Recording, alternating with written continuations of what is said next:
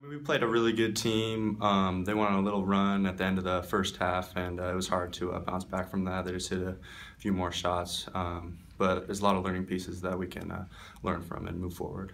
Um, you, you know have the toughest team in the in the conference, being the number two team in Whitworth. So you played both top 2 mm-hmm. teams in the country. What's that do to prepare you for the Northwestern Conference? I mean, I, Northwest Conference. I realize Whitworth's in there, but you had to play them on the road. So how does that get you ready for, for the start of the year? Well, I mean, we've, we've been trying to play the best schedule that we uh, that we can um, early on, so that later on in the season it uh, helps prepare us and we're better from it. Uh, you have a, a, a, weird mix of guys. CJ kind of getting back in the in the groove right now. A bunch of freshmen. Uh, share with us, kind of from your perspective, the makeup of this team.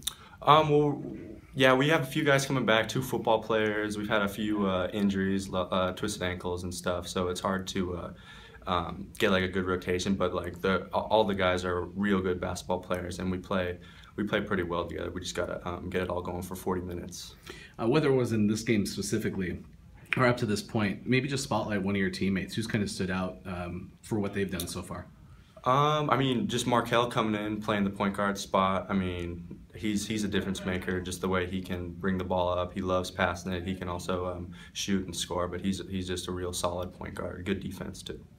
Final tune-up for conference will be Redlands. You've already played them. Uh, what do you remember from the first meeting? Um, they're just a good, um, big, solid team. Um, they rebound really well. Got some good players. Um, it'll be a good test.